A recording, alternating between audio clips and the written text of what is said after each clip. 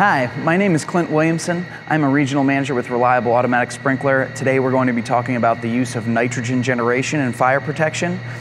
One of the biggest issues facing the industry is internal pipe corrosion, especially within dry and pre-action sprinkler systems.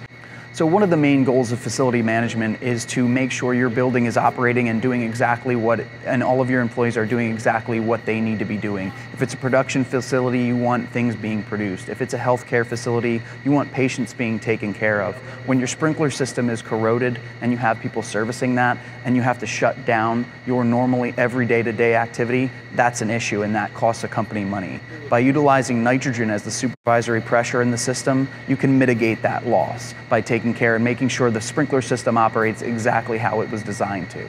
As anyone in the, any facilities manager knows, the corrosion issue inside the sprinkler system itself is much more prevalent in dry and pre-action systems as opposed to wet systems. There's an inexhaustible amount of oxygen within that sprinkler pipe. So within dry and pre-action systems, you always have a little bit of water, you always have a lot of oxygen, and then of course you have that exposed metal there. So anywhere in nature, if you have metal, if you have moisture and you have oxygen, you're going to have corrosion. So really you cannot get rid of the metal aspect of it in, within the sprinkler system, especially within dry or pre-action. With wet systems, you can use CPVC piping. That's not the case with dry and pre-action. So you can't get rid of the metal, uh, and you can't get rid of the moisture even in dry and pre-action systems. There will always be some uh, some level of moisture within the system, whether that's left over from a trip test, whether that's hot, moist air coming from an air compressor going into a cold, unconditioned attic space or parking garage in those areas that are not temperature controlled. That is going to create moisture as well. So really the only way and the best way that this industry has found to prevent that internal pipe corrosion is by use of nitrogen as supervisory pressure. So how do you create nitrogen on demand to create that supervisory pressure for a sprinkler system? It's very simple. The air we're breathing now is already 79% nitrogen all a nitrogen generator is doing is really taking the rest of that, that other 21% of that, the atmosphere that we're breathing, getting rid of that and creating high purity nitrogen. So the reason why we're doing that is if you limit the amount of oxygen within the pipe, you limit the amount of corrosion potential within that system. So by using high purity nitrogen to, to push back the water from the sprinkler system, you are inhibiting corrosion.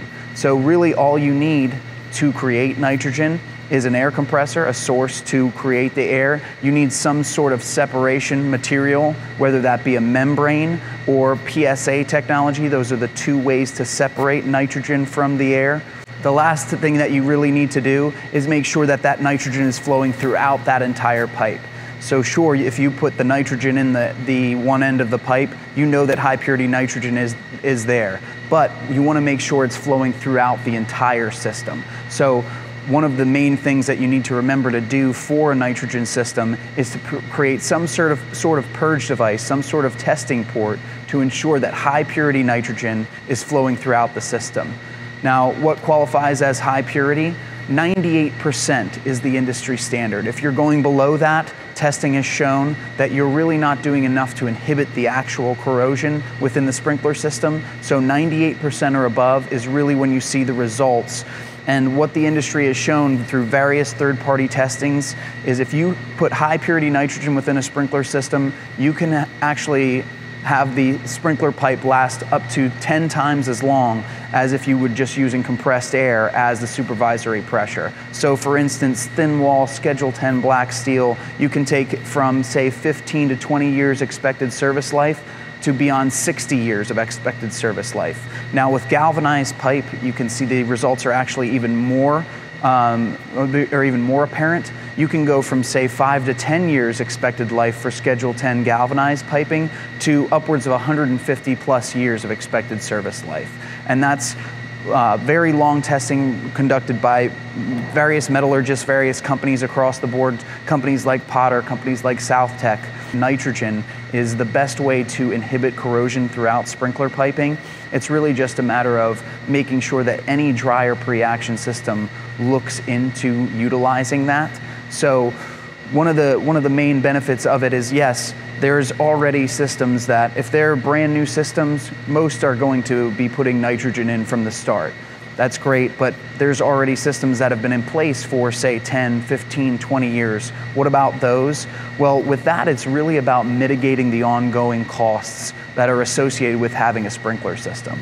You you notice that that anyone that maintains a facility knows that the, one of the biggest headaches is having contractors come in, replace sprinkler pipe due to either leaks or a lack of pressure and an alarm goes off because of a leak, whether that's moisture leaking on, say, an attic ceiling tile uh, or down onto a production room floor, or just because the, the leak is so great that the, the system actually loses pressure. And when that happens, you're in danger of an actual system trip, a false trip, which as anyone that has experienced that knows is absolutely, it can be catastrophic, whether that's in a healthcare situation where you actually have to move patients around from. If you have a production facility and you have to shut down any level of that production, you're going to lose profit by, by making sure that you're no longer doing what you're supposed to be in that certain section because you're maintaining the sprinkler system. These issues are mitigated by the use of nitrogen within that sprinkler system to maintain supervisory pressure as opposed to compressed air.